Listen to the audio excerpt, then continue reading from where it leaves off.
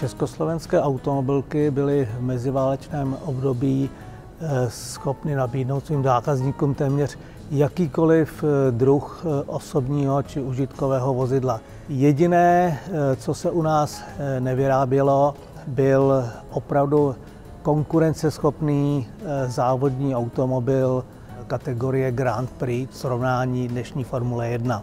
Takové automobily si naši sportovci museli koupit v zahraničí a bez větších problémů jim je prodala pouze francouzská automobilka Bugatti. To byl hlavní důvod, proč v meziválečném období většina domácích závodníků jezdila na vozech této značky. Nešlo pouze o legendární Elišku Junkovou, ale i řadu dalších jezdců. Tento vystavený automobil Bugatti 51 z roku 1931 který má osmiválcový motor o objemu 2,3 litru a je přeplňován kompresorem.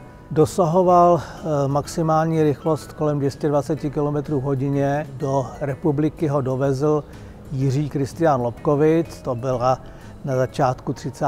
let taková naše největší jezdecká naděje. Lobkovic s tímto automobilem eh, startoval v září 1931 ve velké ceně na Masarykově okruhu. Bohužel v květnu 1932 se Lobkovic na německém Avusu zabil v jiném voze Bugatti a volant tohoto automobilu převzal jeho nejlepší přítel Zdeněk Pol, který s ním eh, absolvoval převážnou většinu závodů, které se u nás jeli v 30.